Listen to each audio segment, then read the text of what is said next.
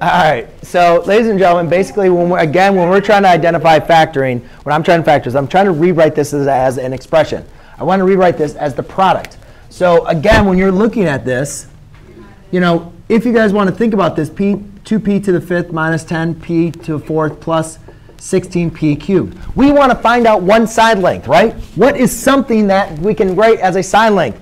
And so something times something else that's going to give you this. So basically what we want to do is identify what we call is a side something that can evenly divide into this whole expression. And we call that something the greatest common factor, the largest factor that evenly divides into each one of these monomials. So first thing, the nice thing about greatest common factor is you don't have to do it, you don't have to look at everything um, as a whole. Just look at the numbers and then the variables. So what is the largest number that evenly divides into 2, 10, and 16? 2.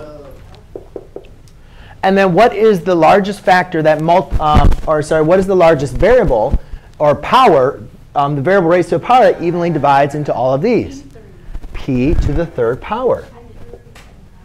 So what I'm basically asking you, ladies and gentlemen, is if one side length is 2p to the third, then 2p to the third times what gives us this?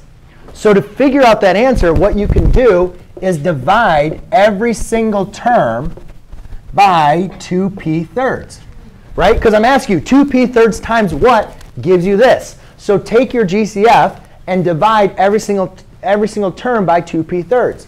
And what you get is p squared minus 5 p to the first plus 8 um, p to the 0, which is just 8.